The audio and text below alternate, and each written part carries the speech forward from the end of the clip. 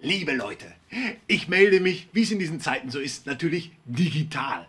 Wenn ich ehrlich bin, ich kann es nicht mehr haben. Immer alles digital. Ich kann bei diesen ganzen Zoom-Konferenzen die fremden Nasenhaare, die mir durch die zu tief gestellte Kamera gezeigt werden, nicht mehr sehen.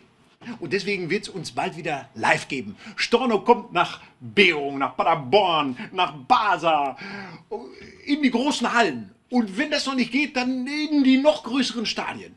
Und wenn das auch nicht geht, dann werden wir in diesem wunderbaren Kulturimbiss äh, des Kulturbüros bei jedem Zuschauer einzeln vorfahren. Ja, Herr Funke wird Pommes über die Theke reichen, Herr Rüther wird Yogi-Tee geben, ich werde Blockflöte mit Helene Fischer spielen und oben vom Himmel, da wird André Rieu, Helmut Lotti und die Teletubbies Wobei ich das dann vielleicht im Detail nochmal mit den Kollegen absprechen müsste.